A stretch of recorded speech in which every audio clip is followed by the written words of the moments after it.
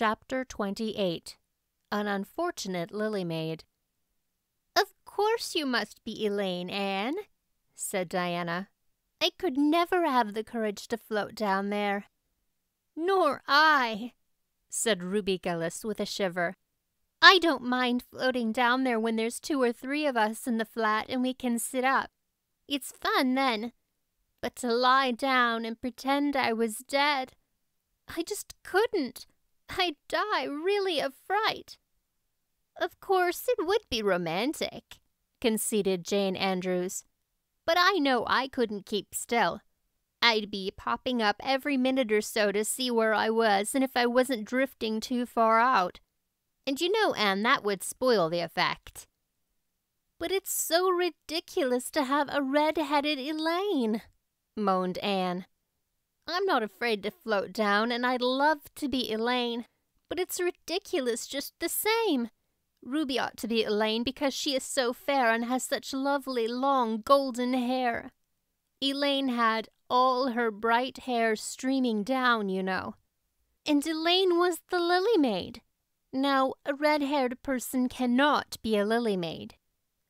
Your complexion is just as fair as Ruby's, said Diana earnestly, and your hair is ever so much darker than it used to be before you cut it.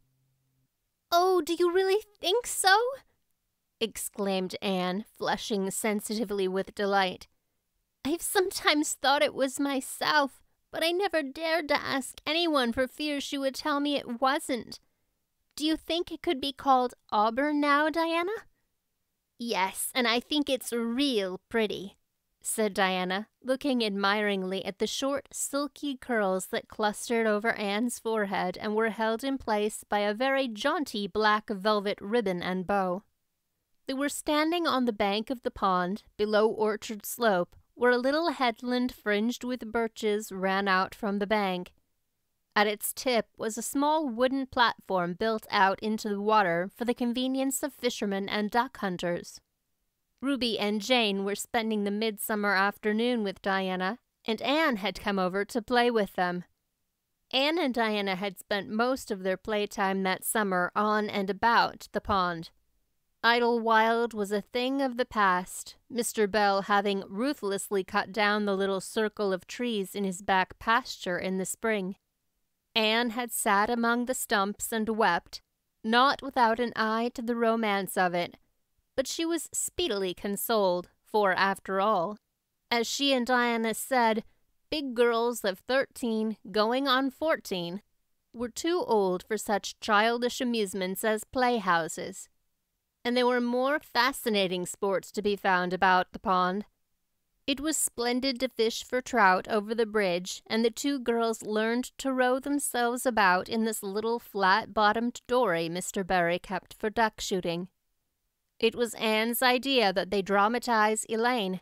They had studied Tennyson's poem in school the preceding winter, the superintendent of education having prescribed it in the English course for the Prince Edward Island schools. They had analyzed and parsed it and torn it to pieces in general until it was a wonder there was any meaning at all left in it for them. But at least the fair Lily Maid and Lancelot and Guinevere and King Arthur had become very real people to them, and Anne was devoured by secret regret that she had not been born in Camelot. Those days, she said, were so much more romantic than the present. Anne's plan was hailed with enthusiasm. The girls had discovered that if the flat were pushed off from the landing place, it would drift down with the current under the bridge and finally strand itself on another headland lower down which ran out in a curve to the pond. They had often gone down like this, and nothing could be more convenient for playing Elaine. Well, I'll be Elaine, said Anne, yielding reluctantly for although she would have been delighted to play the principal character, yet her artistic sense demanded fitness for it, and this, she felt, her limitations made impossible. Ruby, you must be King Arthur, and Jane will be Guinevere, and Diana must be Lancelot. But first you must be the brothers and the father. We can't have the old dumb servitor because there isn't room for two in the flat when one is lying down. We must pall the barge all its length in blackest samite. That old black shawl of your mother's will be just the thing, Diana. The black shawl having been procured, Anne spread it over the flat and then lay down on the bottom with closed eyes and hands folded over her breast. Oh, she does look really dead, whispered Ruby Gillis nervously, watching the still, white little face under the flickering shadows of the birches. It makes me feel frightened, girls. Do you suppose it's really right to act like this? Mrs. Lynde says that all play acting is abominably wicked. Ruby, you shouldn't talk about Mrs. Lynde, said Anne severely. It spoils the effect because this is hundreds of years before Mrs. Lynde was born. Jane, you arrange this. It's silly for Elaine to be talking when she's dead. Jane rose to the occasion. Cloth of gold for coverlet there was none, but an old piano scarf of yellow Japanese crepe was an excellent substitute. A white lily was not obtainable just then, but the effect of a tall blue iris placed in one of Anne's folded hands was all that could be desired. Now she's all ready, said Jane.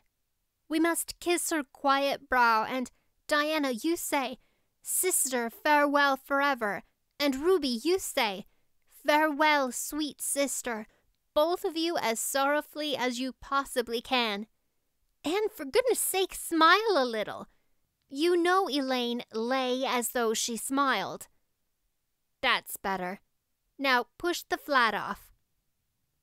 The flat was accordingly pushed off, scraping roughly over an old embedded stake in the process. Diana and Jane and Ruby only waited long enough to see it caught in the current and headed for the bridge before scampering up through the woods, across the road, and down to the lower headland where, as Lancelot and Guinevere and the king, they were to be in readiness to receive the Lily Maid.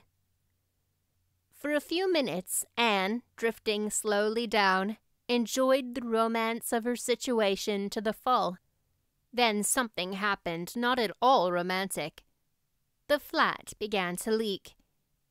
In a very few moments it was necessary for Elaine to scramble to her feet pick up her cloth of gold coverlet and pall of blackest samite, and gaze blankly at a big crack in the bottom of her barge, through which the water was literally pouring. That sharp stake at the landing had torn off the strip of batting nailed on the flat. Anne did not know this, but it did not take her long to realize that she was in a dangerous plight. At this rate, the flat would fill and sink long before it could drift to the lower headland. Where were the oars? Left behind at the landing. Anne gave one gasping little scream which nobody ever heard. She was white to the lips, but she did not lose her self possession. There was one chance, just one. I was horribly frightened, she told Mrs. Allen the next day and it seemed like years while the flat was drifting down to the bridge and the water rising in it every moment. I prayed, Mrs. Allen, most earnestly, but I didn't shut my eyes to pray, for I knew the only way God could save me was to let the flat float close enough to one of the bridge piles for me to climb up on it. You know the piles are just old tree trunks, and there are lots of knots and old branch stubs on them. It was proper to pray, but I had to do my part by watching out, and right well I knew it. I just said, Dear God, please take the flat close enough to the pile and I'll do the rest. Over and over again. Under such circumstances, you don't think much about making a flowery prayer. But mine was answered, for the flat bumped right into a pile for a minute, and I flung the scarf and the shawl over my shoulder and scrambled up on a big providential stub. And there I was, Mrs. Allen, clinging to that slippery old pile with no way of getting up or down. It was a very unromantic position, but I didn't think about that at the time. You don't think much about romance when you have just escaped from a watery grave. I said a grateful prayer at once, and then I gave all my attention to holding on tight, for I knew I should probably have to depend on human aid to get back to dry land. The flat drifted under the bridge and then promptly sank in midstream. Ruby, Jane, and Diana, already awaiting it on the lower headland, saw it disappear before their very eyes, and had not a doubt but that Anne had gone down with it. For a moment they stood still, white as sheets, frozen with horror at the tragedy. Then, shrieking at the tops of their voices, they started on a frantic run up through the woods, never pausing as they crossed the main road to glance the way of the bridge. Anne, clinging desperately to her precarious foothold, saw their flying forms and heard their shrieks. Help would soon come, but meanwhile her position was a very uncomfortable one. The minutes passed by, each seeming an hour to the unfortunate Lily Maid. Why didn't somebody come? Where had the girls gone? Suppose they had fainted, one and all. Suppose nobody ever came. Suppose she grew so tired and cramped that she could hold on no longer. Anne looked at the wicked green depths below her, wavering with long, oily shadows, and shivered. Her imagination began to suggest all manner of gruesome possibilities to her. Then, just as she thought she could really not endure the ache in her arms and wrists another moment, Gilbert Blythe came rowing under the bridge in Harmon Andrews' dory. Gilbert glanced up and, much to his amazement, beheld a little white, scornful face looking down upon him with big, frightened, but also scornful gray eyes. Anne Shirley, how on earth did you get there? He exclaimed. Without waiting for an answer, he pulled close to the pile and extended his hand. There was no help for it. Anne, clinging to Gilbert Blythe's hand, scrambled down into the dory, where she sat, drabbled and furious, in the stern with her arms full of dripping shawl and wet crepe. It was certainly extremely difficult to be dignified under the circumstances. What has happened, Anne? Asked Gilbert, taking up his oars. We were playing Elaine, explained Anne frigidly, without even looking at her rescuer. And I had to drift down to Camelot in the barge. I mean, the flat. The flat began to leak, and I climbed out on the pile. The girls went for help, Will you be kind enough to row me to the landing? Gilbert obligingly rowed to the landing, and Anne, disdaining assistance, sprang nimbly on shore. I'm very much obliged to you, she said haughtily as she turned away. But Gilbert had also sprung from the boat and now laid a detaining hand on her arm. Anne, he said hurriedly, look here. Can we just be good friends? I'm awfully sorry I made fun of your hair that time. I didn't mean to vex you, and I only meant it for a joke. Besides, it's so long ago. I think your hair is awfully pretty now. Honest, I do. Let's be friends? For a moment, Anne hesitated. She had an odd, newly awakened consciousness under all her outraged dignity that the half shy, half eager expression in Gilbert's hazel eyes was something that was very good to see. Her heart gave a quick, queer little beat, but the bitterness of her old grievance promptly stiffened up her wavering determination. That scene of two years before flashed back into her recollection as vividly as if it had taken place yesterday. Gilbert had called her carrots and brought about her disgrace before the whole school. Her resentment, which to other and older people might be as laughable as its cause, was in no whit allayed and softened by time, seemingly. She hated Gilbert Blythe. She would never forgive him. No, she said coldly. I shall never be friends with you, Gilbert Blythe, and I don't want to be. All right. Gilbert sprang into his skiff with an angry color in his cheeks. I'll never ask you to be friends again, Anne Shirley, and I don't care either.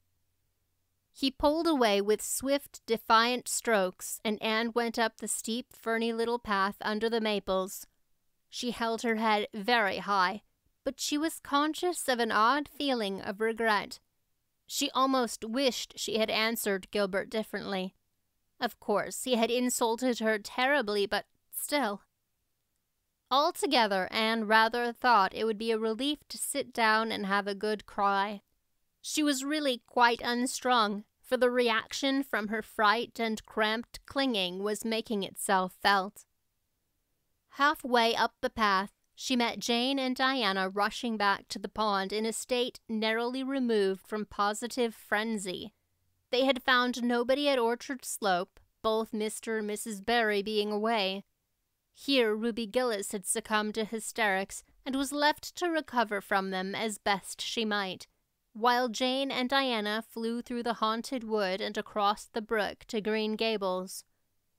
There they had found nobody either, for Marilla had gone to Carmody and Matthew was making hay in the back field. Oh, Anne! gasped Diana, fairly falling on the former's neck and weeping with relief and delight. Oh, Anne, we thought you were drowned, and we felt like murderers because we had made you be Elaine, and Ruby is in hysterics. Oh, Anne, how did you escape? I climbed up on one of the piles, exclaimed Anne wearily. And Gilbert Blythe came along in Mr. Andrews' dory and brought me to land. Oh, Anne, how splendid of him! Why, it's so romantic, said Jane, finding breath enough for utterance at last. Of course you speak to him after this. Of course I won't, flashed Anne with a momentary return of her old spirit. And I don't ever want to hear the word romantic again, Jane Andrews. I'm awfully sorry you were so frightened, girls. It's all my fault. I feel sure I was born under an unlucky star. Everything I do gets me or my dearest friends into a scrape. We've gone and lost your father's flat, Diana, and I have a presentiment that we'll not be allowed to row on the pond any more. Anne's presentiment proved more trustworthy than presentiments are apt to do. Great was the consternation in the Barry and Cuthbert households when the events of the afternoon became known. Will you ever have any sense, Anne? groaned Marilla. Oh, yes, I think I will, Marilla, returned Anne optimistically. A good cry, indulged in the grateful solitude of the east gable, had soothed her nerves and restored her to her wonted cheerfulness. I think the prospects of becoming sensible are brighter now than ever. I don't see how, said Marilla. Well, explained Anne, I've learned a new and valuable lesson today. Ever since I came to Green Gables, I've been making mistakes, and each mistake has helped to cure me of some great shortcoming. The affair of the amethyst brooch cured me of meddling with things that didn't belong to me. The haunted wood mistake cured me of letting my imagination run away with me. The liniment cake mistake cured me of carelessness in cooking. Dyeing my hair cured me of vanity. I never think about my hair and nose now, at least very seldom. And today's mistake is going to cure me of being too romantic. I have come to the conclusion that it is no use trying to be romantic in Avonlea. It was probably easy enough in towered Camelot hundreds of years ago, but romance is not appreciated now. I feel quite sure that you will soon see a great improvement in me in this respect, Marilla. I sure hope so, said Marilla skeptically. But Matthew, who had been sitting mutely in his corner, laid a hand on Anne's shoulder when Marilla had gone out. Don't give up all your romance, Anne, he whispered shyly. A little of it is a good thing. Not too much, of course. But keep a little of it, Anne. Keep a little of it.